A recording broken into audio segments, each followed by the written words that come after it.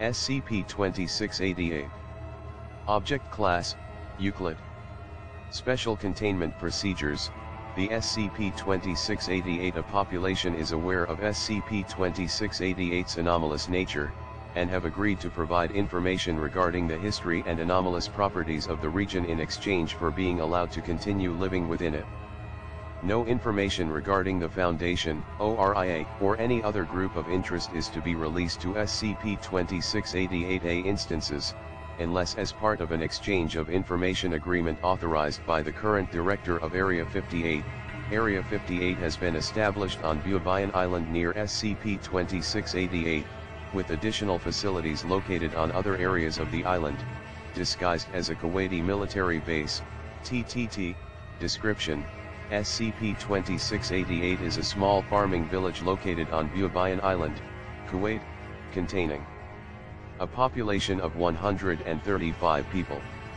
SCP-2688's current population, hereafter referred to collectively as SCP-2688-A, are culturally and linguistically distinct from other Kuwaiti groups, speaking a Creole with loanwords derived from Koine Greek, Babylonian Akkadian, Imperial Aramaic and Mesopotamian Arabic. SCP-2688 A practice a religion loosely resembling Iron Age Akkadian belief systems, centered on the deity Nammu. SCP-2688 A voluntarily remains isolated from the outside world, though passive observation of other groups was common prior to the ORIA establishing control over the region, there are two anomalies affecting SCP-2688, all children conceived within SCP-2688 will display multiple physical malformations of a highly random nature. These malformations include, but are not limited to, extra or missing sensory organs, benign tumors, and teratoma, and malformed or missing internal organs. It is currently unclear whether this anomaly only affects SCP-2688-A or extends to any children conceived within the village, as testing it has been deemed unethical, any liquid water not within a biological organism brought within an approximate 2 km radius of the temple complex will spontaneously transmute into a solution of amniotic fluid, cerebrospinal fluid, gastric acid, and sodium chloride suspended in water. The concentration of the solution will vary. SCP-2688-A instances experience none of the unhealthy effects that would normally occur from coming into contact with this solution, and utilize it in the place of water. This solution has religious significance to SCP-2688-A, and it is often used in libation and purification rituals, a cylinder seal created by the ancestors of SCP-2688-A dates to approximately 200 BCE, in the center of SCP-2688 is a large ruined ziggurat, dated to approximately 4100 BCE-1. Though not itself anomalous, the ziggurat is anachronistic, as it is over a millennium older than any other structure in the area constructed using similar methods. Several anachronistic or formerly anomalous artifacts have been recovered from within the ziggurat, including cuneiform tablets in an unknown language, dated to approximately 4000 BCE2, and seven mummified human cadavers displaying similar anomalies to those experienced by SCP-2688-A, dated to between 200 BCE and 900 CE, a subterranean system of tunnels, constructed at approximately the same time as the temple complex, extends more than 500 meters beneath SCP-2688. These tunnels have not been mapped in their entirety. The only entrance to these tunnels is from the ziggurat in the center of the village. The use of ground-penetrating radar has shown that at the base of these tunnels is an unusually large, anomalously stable underground body of water at least 90 square kilometers in size, based on texts uncovered from the site, it is believed that SCP-2688 was continuously inhabited from approximately 4100 BCE to 1200 BCE, at which point it was abandoned due to invasion from the north by an unknown group. In approximately 300 BCE, the site was resettled by a group of Hellenes and Babylonians. SCP-2688-A is descended from these settlers, recovered texts 3, plus Akkadian tablet, excerpt from Accreation myth, access granted, dates to approximately 300 BCE.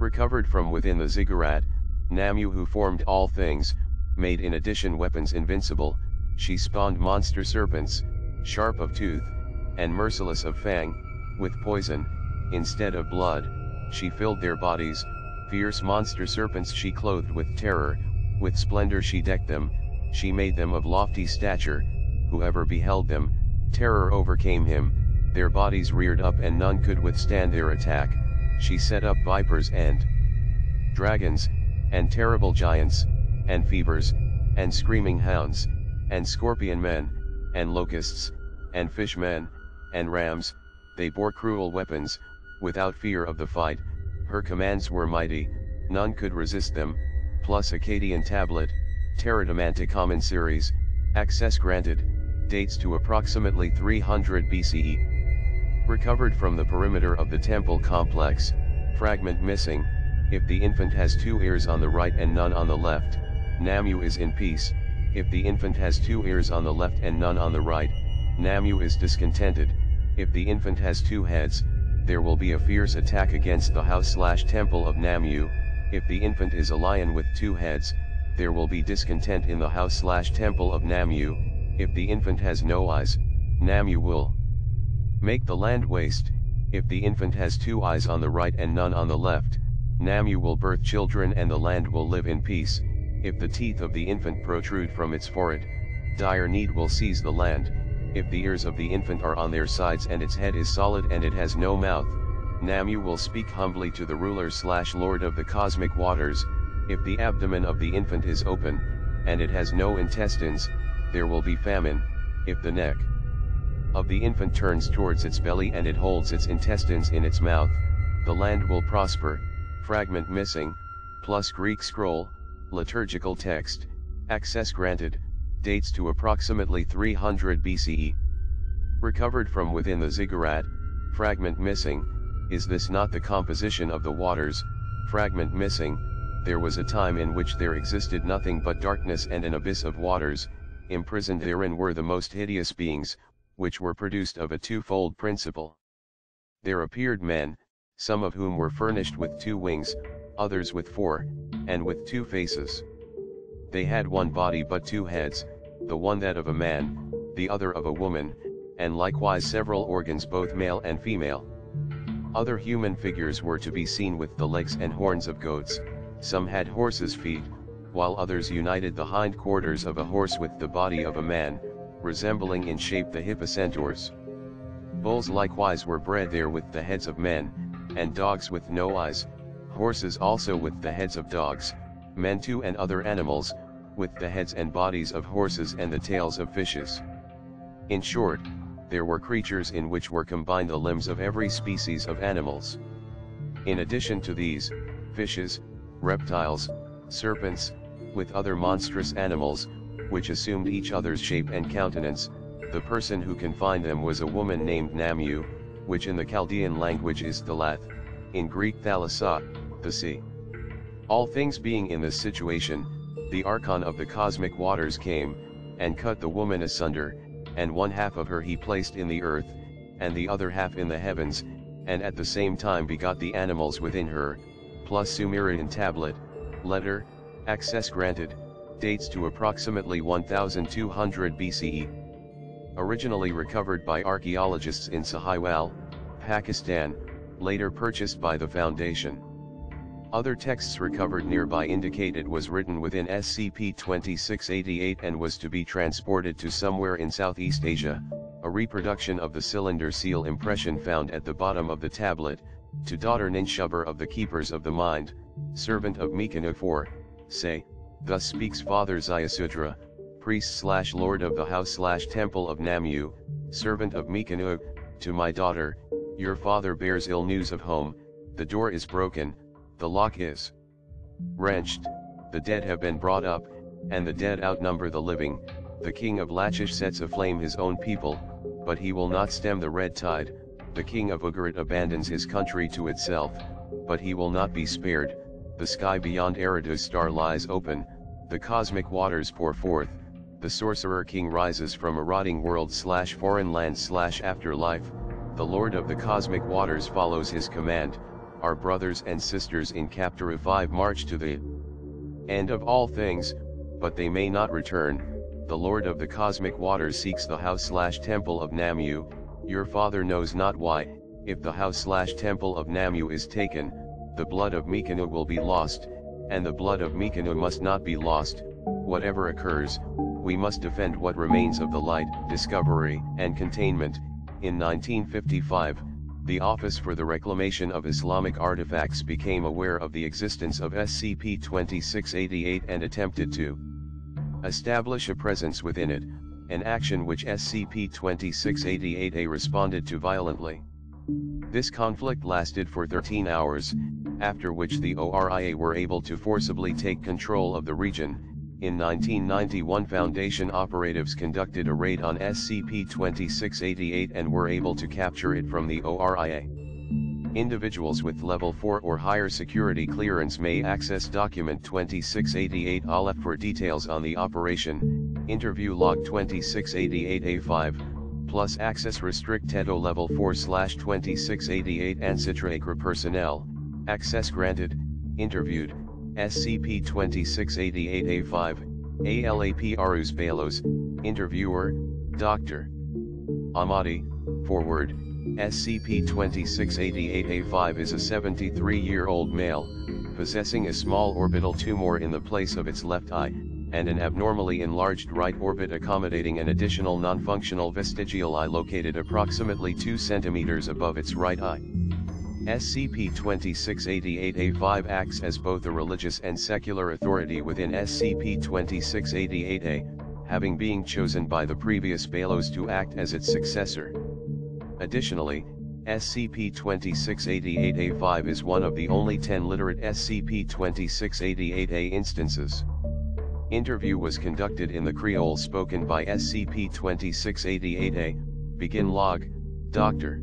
Amadi, good morning, Balos. I would like to ask you a few questions about the history of your village. Let's start with the obvious. Why did your people migrate here, SCP-2688A5, my people were led here long ago. We were gathered in the north and sent to find the land of Dilmun, Dr. Amadi, could you clarify further, SCP-2688A5, unintelligible muttering, Dr. Amadi, speak up, please, SCP-2688A5, you will not understand, Dr. Amadi, if you don't think you can adequately explain the history of this village, we can always find another member of your society to, SCP-2688A5, visibly agitated there is no need to call upon the ignorant. I will attempt to enlighten you, though you will not understand, Dr. Amadi, alright then. Continue, SCP-2688A, my ancestors, the initiates of the Ionic Mysteries, were gathered by Karsus Tulva, Vizier of Tursa of the Cosmic Waters. They were sent to settle the once prosperous land of Dilmun, in the name of our immortal father. When they arrived at this place, my ancestors rejoiced, for a reward had been prepared for them, Dr. Amadi, a reward, SCP-2688A5, this village lies upon a diseased god. A rotten creature, whose fevered mumblings shape our flesh. It was a gift beyond measure. We may be as flies to the gods, but flies make feasts of the sick and dying, Dr. Amadi, a god, SCP-2688A5, Nammu, Thalath, Tiamat. She goes by many names. She whispers into the wombs of our people and molds the flesh within, telling us her secrets and her desires. We will feast on her rotting form, and in return we will birth her children into the world, exalt her and raise her into power, Dr. Amadi, and what will happen then, SCP-2688A5, I. I do not know. But I am certain that my people will be as gods. Do you have any more questions, or may I go, Doctor? Amadi, just a little longer. My organization wants to explore the caves beneath your temple. We just wanted to make sure that is acceptable to you first. May we enter, SCP-2688A5, we do not descend into the caves below. The old text spoke in vague terms of a great temple in the center of our village, but not until the Persians dug it up did we know it existed. It belongs to Nammu, not us. If you wish to enter, we will not stop you, though she may, and log, closing statement, as permission to enter the cave system beneath the ziggurat has been granted, exploratory efforts are to be undertaken as soon as preparations are complete. As SCP-2688 has been confirmed by SCP-2688A5 to be Sarkic in origin, Foundation, and GOC representatives of Project, Citra will oversee future containment and research of SCP-2688, exploration, plus access restricted to level 4-2688 and Citra personnel, access granted, 12-07-1999, Dr. Amadi, Area 58 anthropologist and Assyriologist, Dr. Singh, Area 58 biologist, Agent Al-Bayadai, member of MTF Zeta 9 Mole Rats, and Dr. Morrison, GOC Special Observer Archaeologist, enter the temple complex at the center of SCP-2688. Agent Al-Bayadai is equipped with a SIG Sauer P-226 sidearm at the suggestion of Dr. Morrison, the walls and ceiling of the cave are completely coated with a lining of thin muscular hydrostats between 15 and 60 cm in length, which dangle loosely. These organisms have been collectively designated SCP-2688-B. After approximately three hours of uneventful exploration of the cave system, the expedition team discovers and enters a cylindrical chamber approximately 30 m in diameter and 5 m tall, constructed out of fired brick, through one of six arches spaced equidistant from each other. The walls of the chamber display bas-reliefs depicting mythological scenes, the majority of which are rendered incomprehensible by significant damage from SCP-2688-B. One relief remains mostly intact, depicting a large female figure and six male figures. Four of the male figures are depicted holding, respectively, a bundle of grain, a clay tablet and stylus, a shield studded with bronze discs and a spear, and a crown. The remaining two male figures have been almost entirely destroyed by SCP-2688-B, but presumably at some point held an additional two objects. The female figure is depicted holding in one hand the winged gear motif also found in the cylinder seal impression of the Sumerian tablet recovered from Sahiwal. The floor of the chamber is covered by a uniform layer of iron oxide flakes approximately 2 centimeters thick, several small, round clay tablets with short messages in early dynastic Sumerian cuneiform are found strewn about the floor of the main chamber. The tablets display signs of having been heavily reused.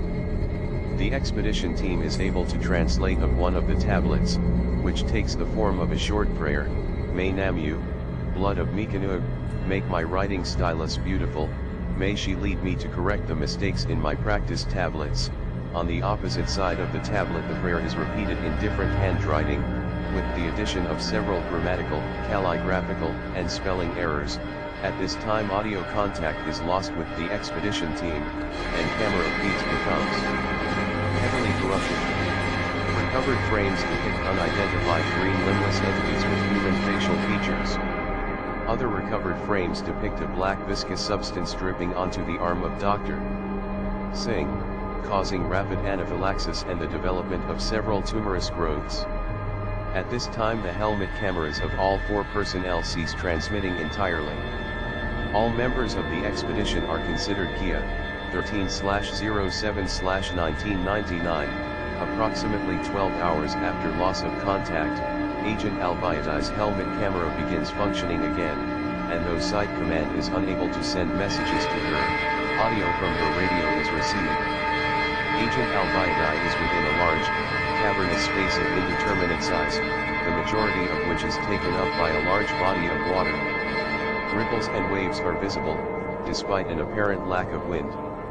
The coloration of the water indicates that it is affected by SCP-2688 secondary, transmutative anomalous property.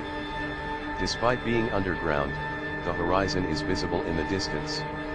The sound of waves and what is believed to be Agent Albiadi's breathing can be heard, interrupted intermittently by the sound of organic material scraping on stone in the distance, abruptly, the sound of metal scraping causes Agent Albiadi to turn her head away from the water's edge. A humanoid, resembling a Middle Eastern bearded male with crude bronze prosthetic modifications to the arms and eyes, becomes visible. Fleshy tendrils travel from the floor to within the cybernetics, and its facial features are heavily distorted by the growth of several large scleromas. The humanoid appears unconscious, but is breathing and blinking rapidly. Agent Albiadi begins slowly walking towards the humanoid while it sits up and outstretches its right arm as far as its tendrils will allow. Agent Albiadi kneels down and allows the humanoid to touch its thumb to her head. At this time, Agent Albiadi begins speaking in Babylonian Akkadian, audio transcript, translated, she will die. It is not my fault. Yes it is. My hand was forced. I am sorry. Nammu lead you here because she wants to kill you and because she wants you to live, I was not always as I am. Once I was Ziusudra. That has ended and now the blood is sick. No I am sick. No. She is sick. Yes. We are all sick. I am confused. Who are you? Nammu now begins to roar and smite, and her deeds are evil. Our minds are hollowed out and we can feel it, my people, the priests of this temple, are gone. They fled or joined when the red tide came. The gods are dead or mad. Claws and shadows. Ninkasi hides from the world. Enki is fragmented. The Lamassu have no masters. Ziusudra cannot think and cannot live and cannot rest, but you can slow the flood. Yes. Karsis Tulva sees you. The fishmen are his eyes. I am his eyes. He will sacrifice the city above to awaken Nammu. You must hurry and prepare for the mingling of the waters. I am sorry, he sees you now. The ones above too. Go, at this time Agent Albiadi's helmet camera and radio cease functionality. No further contact with the unidentified humanoid has been recorded. Further exploration of SCP-2688 has been postponed indefinitely. All members of the expedition team are once again considered KIA. Footnotes, 1. Thermoluminescence dating is used to date most SCP-2688 artifacts, 2. All other cuneiform tablets date to the late 4th millennium BCE at their oldest, 3. A full list of texts recovered from SCP-2688 can be found in document 2688. 4. It is believed that these five signs, dmi.ka.an.nu, are meant to be interpreted phonetically. It is possible they represent a transliteration of a proper noun from another language. 5. This word refers to Crete, but in this context it may represent the Aegean as a whole.